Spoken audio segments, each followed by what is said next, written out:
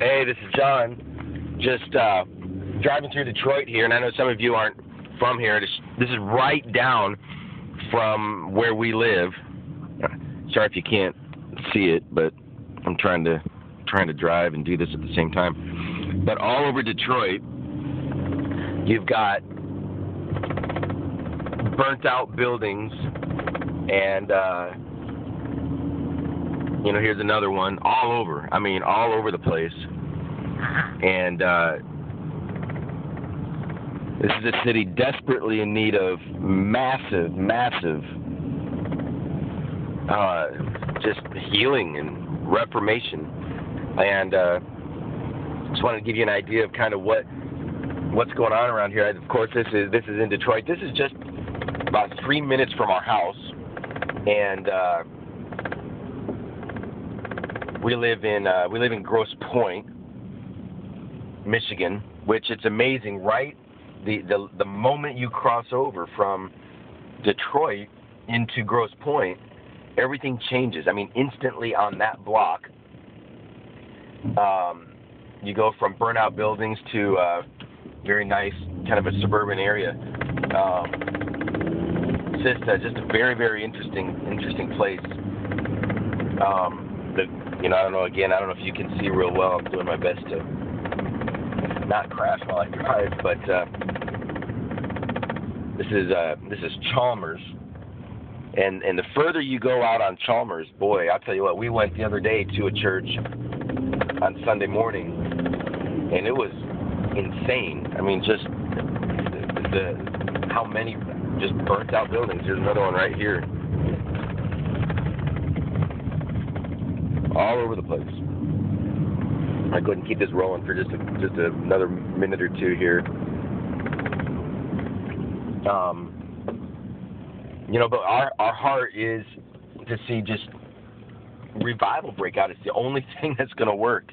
You know, you, you drive around and you see this type of devastation, and there's just no social answer to this whatsoever. And uh, here we got we got some more here, both sides of the road.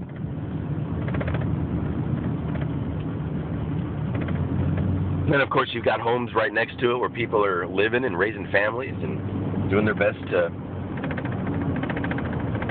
you know, live their lives. So there's there's a lot of resiliency in this city. But uh, I'm just going to keep this going for another. I've got another couple blocks before I hit the highway. I'm on my way to a meeting for a web design client or a graphic design client. But uh, just keep this going here for just a just a little little little bit here.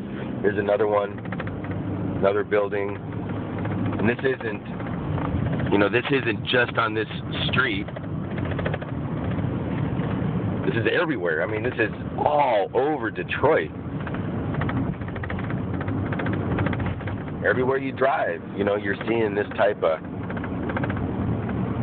devastation and so tragic and sad and and, and, and more than that, it, it you know there's such a feeling of just hopelessness. How in the world can can we ever bring bring some healing to this area? And I certainly don't have all the answers. I mean, my my heart is just to see the power of God arrive, and then I think when that happens, you know, we're gonna there's gonna be some answers when when when God's government is established here in Detroit, I think there's going to be order. There's going to be things that are going to kick into place. You know, so I'm certainly not one that's sitting here with with all sorts of answers, but you know, I know God did move us here to uh, to be part of what's coming, what God wants to do, and so so yeah. Um, any way that you could participate would be absolutely amazing. You know, whatever that looks like. If it's you know, we need a thousand intercessors. That's been a it's been a, a prophecy that's been confirmed pretty powerfully.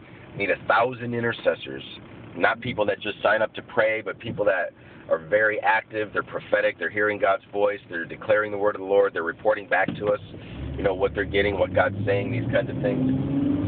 And uh, so we need that to happen. We need we need some some radical financial support as well. You know, which that's uh, kind of par for the course. You know, we're looking for a day when that won't be as necessary, and I believe we're going to get there. But right now, we just we need some serious increase in finances, and uh, but yeah, here's just some more for you. I'll go ahead and shut this down in just a second.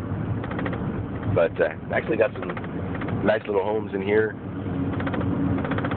But uh, guarantee you, in just a moment, we're going to see another one burnt out right next to, right next door to some of these. Eh, maybe not. Almost up to the highway here. So anyway, so God does have plans, and uh, exciting times. Yeah, here we go. Right over here, boarded up homes, and uh, there you have it. Now I'm at the highway. I'm gonna go ahead and let you go. But uh, just wanted to. I'm sorry. Sorry that you couldn't see real well. I was all over the place with this camera. But um, yep. Let me know what you think. Blessings.